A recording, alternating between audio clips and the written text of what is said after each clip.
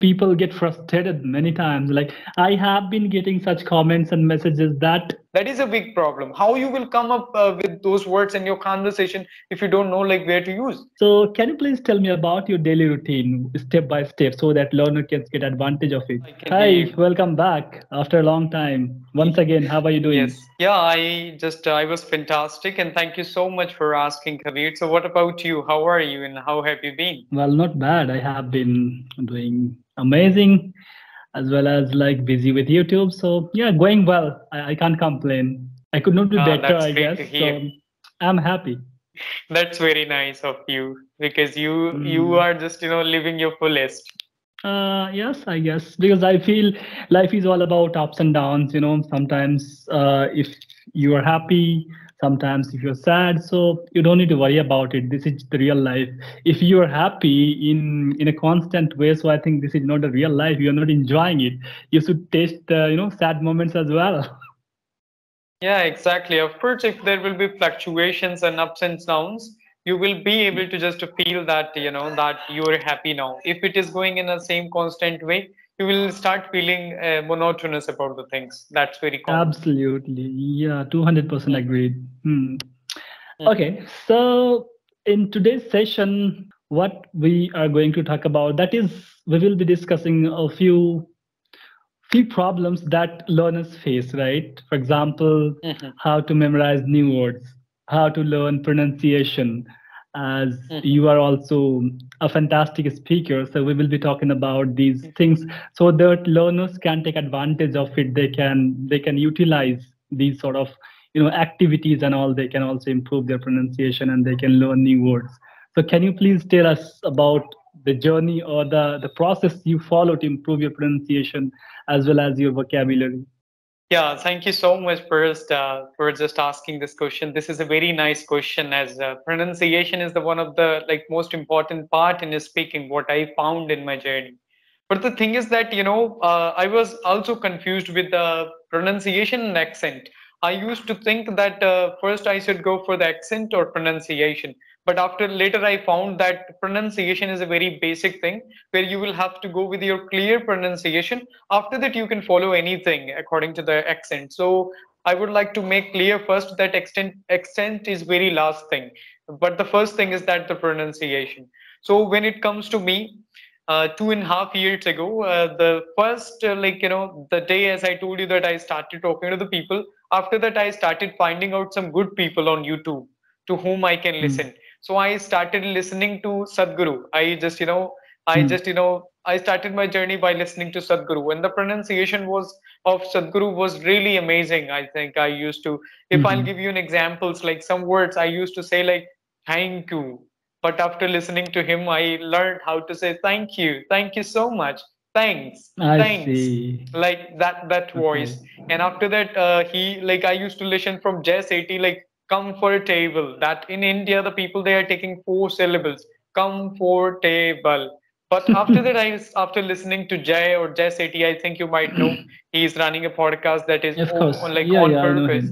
so after that i listening to him and it was really fantastic. I learned how to say comfortable comfortable in three yeah, like syllables. So there are several words but what i found you can't improve pronunciation in a single day this is the thing like you will have to focus on one or two words and try to just you know speak them out and uh, another day try to find out some another words. If anybody is there who can interrupt you that this is not the right pronunciation you are going to find that uh, you're not able to pronounce those words because sometimes people they are thinking that they are pronouncing those uh, words very well but what i found like yes. if you will get a person who will tell you that pronunciation of this word is not correct or you can work on it so of course you will be able to improve your pronunciation so this is the first practice by listening to the good people like hmm. sadhguru mm. jay Shetty, ranveer Allahbadia i used to like you know uh, listen them attentively that what is the difference between their like you know pronunciation and my pronunciation apart from this like what i was doing there was a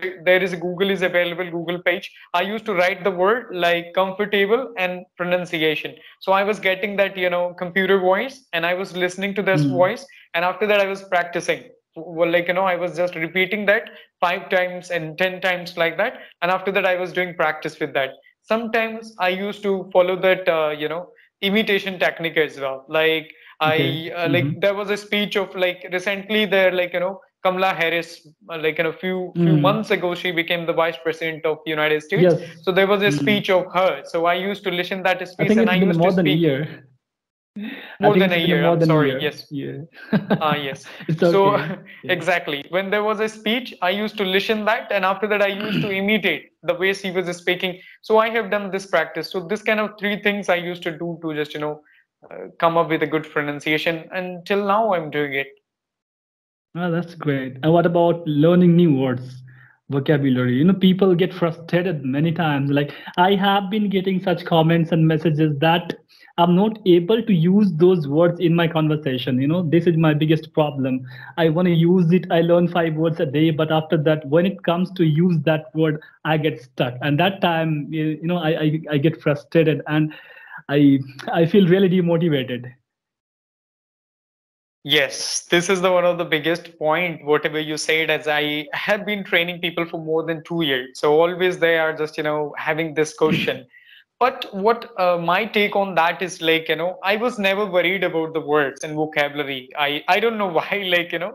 And but i used to follow that traditional method. What i used to do i used to write 5 to 10 words and i used to like mug up them. I used to revise them but that was really obsolete and old fashioned i must say that wasn't working for me the same the learners they are complaining but I was never tensed about it because what I have chosen in my journey, I want to become confident rather than going uh, to speak like a fancy or fantastic words. If I'm able to mm-hmm. understand another speakers like uh, Sadhguru, Gaur Das, Jay Shetty, Ranveer, Priyanka Chopra, of course, words are important to understand them, but I don't want like you know to speak those words in my conversation because I want to be a very simple speaker. So the people they can get me properly. They can understand if i'm speaking 100% of course they can understand me 90% so the thing is that it depends on a personality what they would like to choose. But i must say rather than going for the, that traditional method try to learn from the real conversations like we are talking to each other. And the learners they can listen this conversation and after that if they are getting any word which is new to them try to just write it down and after that watch that video again. Try to watch that you know part of the video again. Then you will find out the context of that in what way you are using it. That is very important. When you are learning the words from the dictionary you are not able to find out like where to use. That is a big problem. How you will come up uh, with those words in your conversation if you don't know like where to use but in real conversation we are able to understand where to use because they will be able to understand that's that situation true. very well so that's what i will suggest to the learners to rather than going for that traditional method listen to the conversations go for the reading text and uh, watch videos where you can get the new words and after that you know uh, just you know include those words in their conversation mm.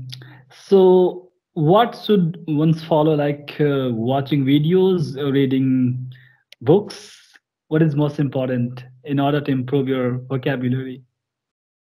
What uh, i must say that i think for me like conversations were really like you know uh, interesting always.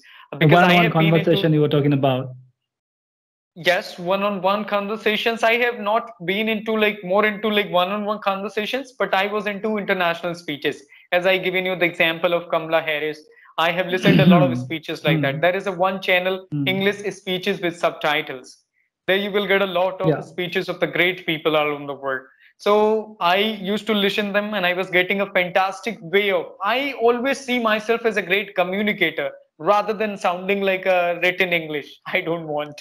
Actually, I want to see myself as a speaker where the people, they can understand me and they can feel the energy in my voice.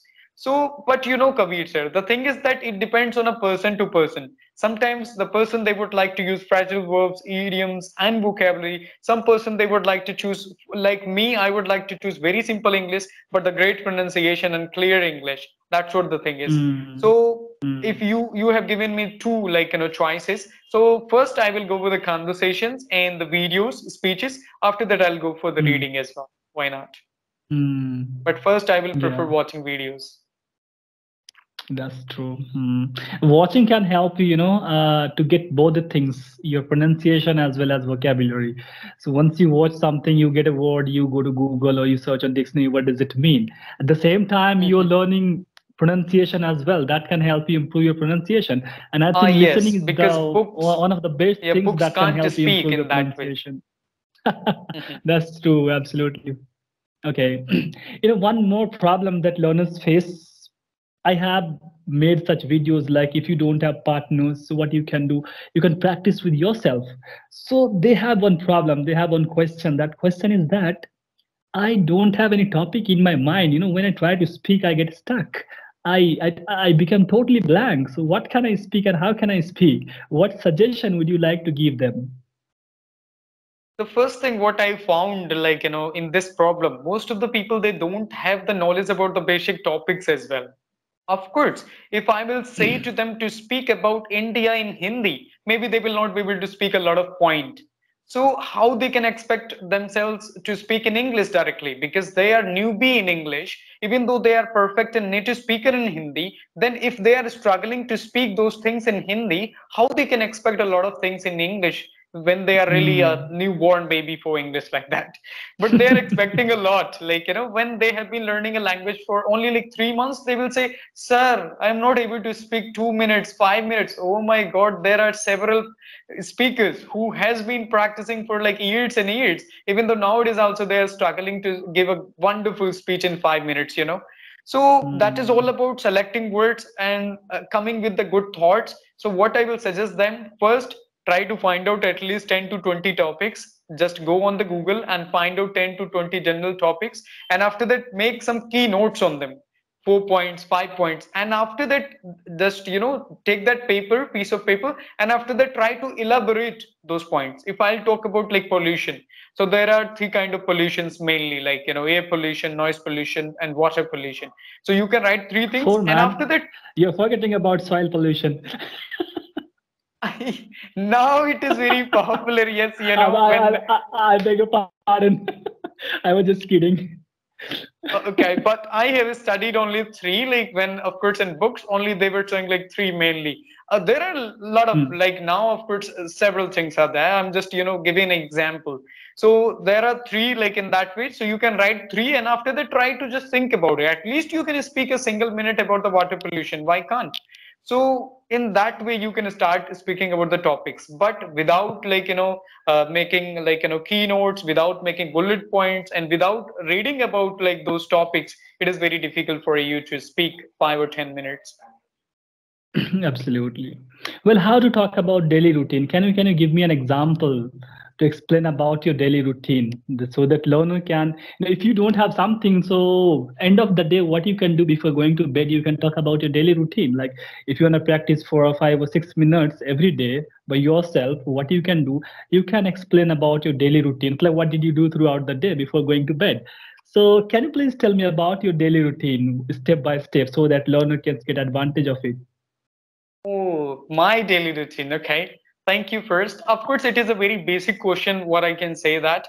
Because first, Yes, uh, of course, whatever, whenever I'm training people, first question I'm asking to them to just introduce and uh, I'm asking them, tell me something about yourself. After that, I would like to go for the second question, that is the routine, which is very important to practice. And uh, so if I'll talk about my just, you know, routine, I can tell you about my routine of today in that way like i woke up first i think i will start with the like i would like to tell the learners that they can start when they are waking up. That is the first point of the like you know that uh, uh, routine. So i woke up at 7:30 and after waking up i was just you know scheduling my day. It is my routine to just schedule my day or write something in the diary.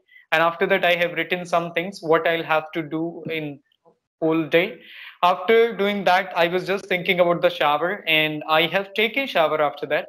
After taking shower i have done worship for 20 to 30 minutes. And after just you know finishing the worship i have been out for the breakfast. I have taken breakfast. I think today i have taken poha in that specifically. Thank you. And after that i will talk uh, i just came back from there. So it was the time to just you know have the session. After that also i wrote something in my diary because i'm maintaining like two to three diaries. I think i do suggest to the people to just do write in the papers because it is very difficult to keep all the things in your mind sometimes you know. So i have written something in diary again. And after that i started taking session from 9.30 to 11 almost 11.30 i have taken session. Mm. after that i have uh, done conversation with my mom. After just you know doing conversation i came to know that i'll have to make a video with you. And then after what i have done i was there for the lunch. After just finishing the lunch i came back and i started preparing for the like you know uh, good environment while making video that's it. And now i'm here with you. So the tips and tricks like you know whenever the people they would like to tell about the routine i must say if they're telling about the today they will have to use like past most of the thing because the learners they are doing this uh, mistake that they are not able to understand. They will have to tell in past present or future so if the you are telling about your today of course you will have to use like most of the time past but if you are telling the general routine you can go with the like you know present like i wake up uh, Yeah. seven o'clock because you are telling like you know this kind of things so that's sort of the thing about the routine Mhm. Hmm, that's true. That's great. Uh, okay, let's talk about festivals for a while because uh, you have had a great time. I think uh, two to three festivals celebrated, you know, uh, just uh, maybe a week or two back, right? If I'm not wrong, like yes DP, a week ago uh, Diwali, Chhath, and all. So, how was that? I mean, how's how's the festival? Uh, yes, it it was really amazing. Like I can say that I was totally in festive mood. Basically, before going back to my hometown, I was just you know totally in a working mood. But when I was back to my hometown, I was in a festive mood.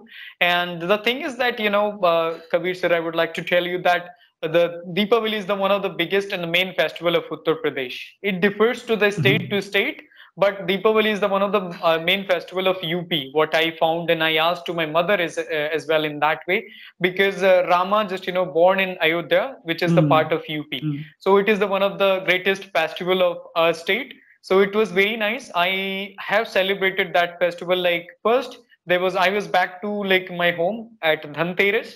Dhanteras where we are just you know doing the worship of Dhanvantri or Kuber like that.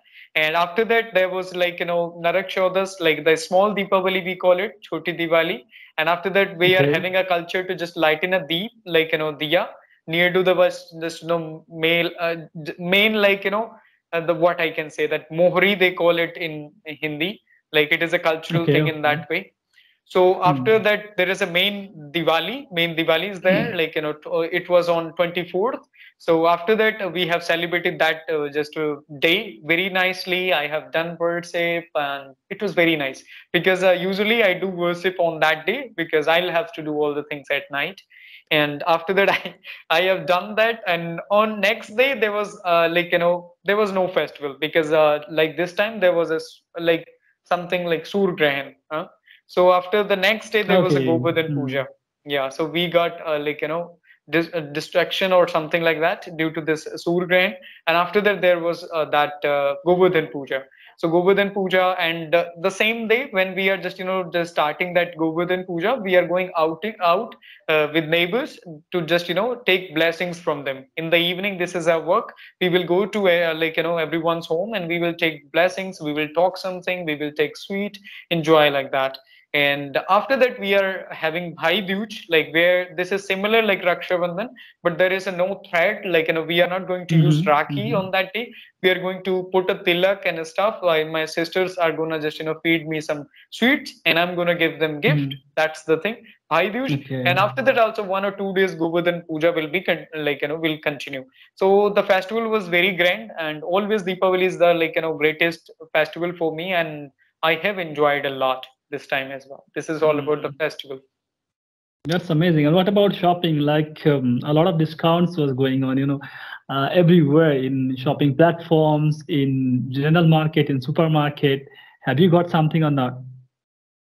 uh, to be honest i'm more in, i'm not more into shopping actually uh, nowadays what i want i want to purchase things which are really important rather than going for the unnecessary shopping. I was not into like that uh, my mom is always saying to me like diwali just take some t-shirts and shirts like that but i'm not more into it. So but what i have bought like that that was like you know electric jhalar electric lights some bulbs for the home like you know Mm, things I for can the see home. here. I can see it's like yeah, exactly. I got a bulb, and in that way, I got some curtains for my home as well. I just, you know, I purchased curtains, a lot of stuff for the home rather than purchasing for myself.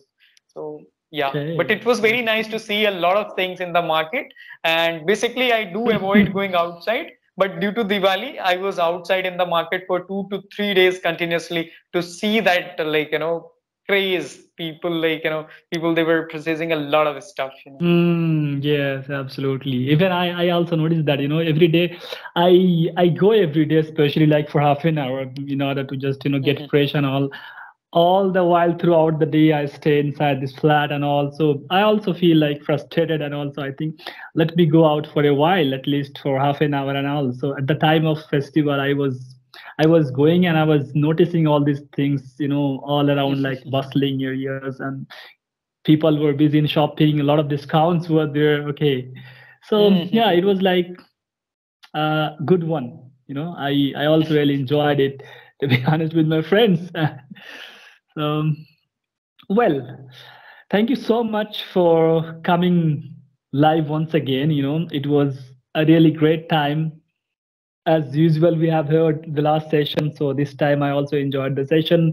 Your experience that uh, you described it was amazing and i hope you know people can get help uh, from your experience and from this video as well. And i don't want to say many more things to you. You don't need any feedback? Okay you are already i need a lot of things man. I want to be better. Yeah. like you know it doesn't make sense that you don't want to tell me something. I would love to learn a lot of things from you as well. Everyone can you know every two hours a new word is added to english dictionary so we cannot stop learning it ever. If you want to brush it up we can do forever right? So that's the fact. Well mm, if you have anything to you can tell me then yeah, exactly. As you said, that now we are just, you know, uh, would you like to discuss something else or just we are running out of time already? Uh, it has uh, been. No, I think like um, it has been 22, 23 minutes. So let's um, end the session here for today. We will meet for the next session and we will enjoy it again. Exactly. So I must say to the viewers and watchers, thank you so much and many, many thanks to you. Keep watching and keep exploring Rural Talk. Thank you so much. You're welcome. See you soon. Take care.